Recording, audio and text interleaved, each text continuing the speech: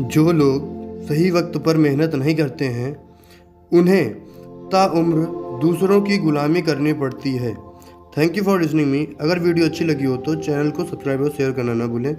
Like करें और comment में अपनी राय दें। धन्यवाद।